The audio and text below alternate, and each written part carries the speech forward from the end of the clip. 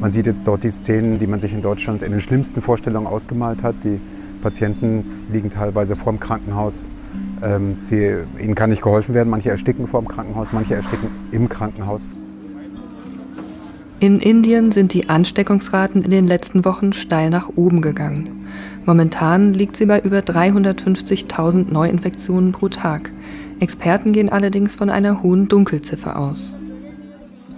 Zahlen muss man immer ein bisschen einbetten darin, dass es ein riesengroßes Land ist, 1,4 Milliarden Menschen. Das heißt, die Ansteckungsraten an sich sind es eigentlich nicht, äh, die so schlimm sind.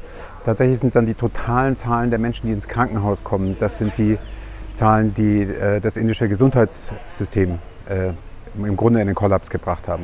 Das heißt, die totalen Zahlen, wenn man sie ins Verhältnis setzt, sind gar nicht so wahnsinnig brutal, aber die Szenen, die sich jetzt tatsächlich in den Krankenhäusern abspielen, sind herzzerreißend. Ende letzten Jahres waren die Zahlen niedrig. Premierminister Modi rief bereits den Sieg gegen das Virus aus. विश्व की 18 परसेंट आबादी रहती हो उस देश ने कोरोना पर प्रभावी नियंत्रण करके Im April erlaubte er sogar das Hindu-Fest Kumbh Mela, ganz ohne Corona-Beschränkungen. Millionen Pilger haben sich am Ufer des Ganges versammelt, um gemeinsam zu feiern. Ein Superspreader-Event, das auch politische Konsequenzen haben könnte. Eine der Wahlen, nämlich die in Westbengal, eine wichtige Wahl, wegen derer auch zum Beispiel äh, äh keine neuen Lockdowns verhängt wurden, die hat äh, Modi bzw. hat die Regierungspartei jetzt relativ krachend verloren. Äh, das kann schon sein, dass das politische Auswirkungen hat. Ähm, äh, es ist allerdings auch so, dass die nächsten Parlamentswahlen erst in drei Jahren sind. Bis dahin passiert natürlich noch sehr viel. Und wie gesagt, Modi adressiert sehr gezielt die Mehrheit der Hindus im Land. Deswegen haben sie die Kumbh ja nicht abgesagt. Unter Umständen lohnt sich das bei den nächsten Wahlen sogar. Das werden wir erst in drei Jahren erfahren. Große Hoffnung wird in die Impfkampagne gesetzt. Das Serum Institute of India ist einer der größten Impfstoffhersteller weltweit. Eigentlich werden hier preiswerte Impfstoffe gegen Krankheiten wie Hepatitis, Tollwut, Polio oder Diphtherie produziert. Jetzt wurden 50 Prozent der Produktionskapazitäten auf die Herstellung von Corona-Impfstoffen umgestellt.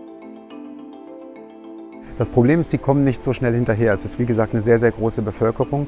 Plus es gibt andere Verpflichtungen. Also es gibt äh, das COVAX-Impfprogramm, äh, die Regierung hat Impfpolitik betrieben, das heißt, sie hat Vakzine auch außer Landes geschickt, was im Grunde ja eine gute Sache war.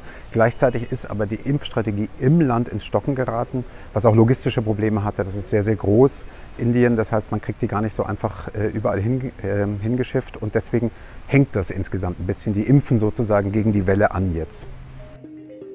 61 Millionen Menschen haben in Indien bereits beide Impfungen bekommen, weitere 51 Millionen die erste Dosis.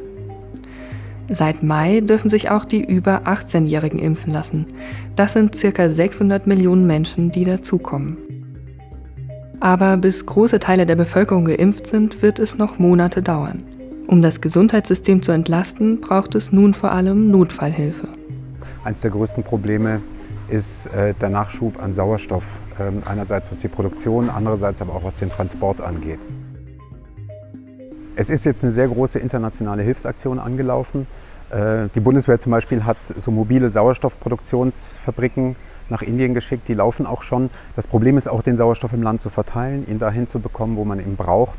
Äh, die USA haben ein Exportverbot für Rohstoffe für, zur Vakzinherstellung aufgehoben, damit das hochgefahren werden kann.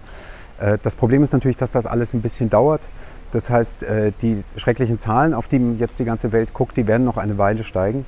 Und ähm, äh, man kann nur hoffen, dass alle Hilfsaktionen, auch die ganzen medizinische Versorgung, die USA schicken auch teilweise Ärzte und Helfer, äh, dass das äh, ein bisschen Linderung verschafft. Aber ansonsten äh, ist leider zu befürchten, dass man noch ein paar Tage diese schlimmen Zahlen mit angucken muss.